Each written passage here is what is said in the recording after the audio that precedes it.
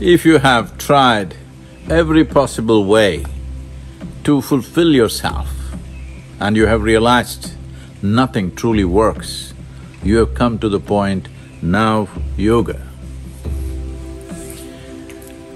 Patanjali starts off the great document of Yoga Sutras with this half a sentence, and now yoga. What this means is, you might have seen success, you might have seen love, you might have seen wealth, but something within you still remains unfulfilled, wanting to be something more. If this longing to be something more still on within you, it's important you understand that even if you become the lord of this world, this is not going to settle because many of you have much more and achieved much more than you ever dreamt of in your lives. Every one of us have much more than what our grandparents and our forefathers had.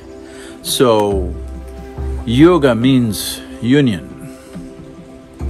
If you understand that our existence here is not just a physical presence, if you understand that a human being, not the human creature, the human creature is limited to the boundaries of this body, but the human being is way beyond the boundaries of this body. If that aspect doesn't become alive within you, you will always remain unfulfilled. So, if you have reached this point, that nothing really fulfills you. Everything has its pleasures, has its joys, has its…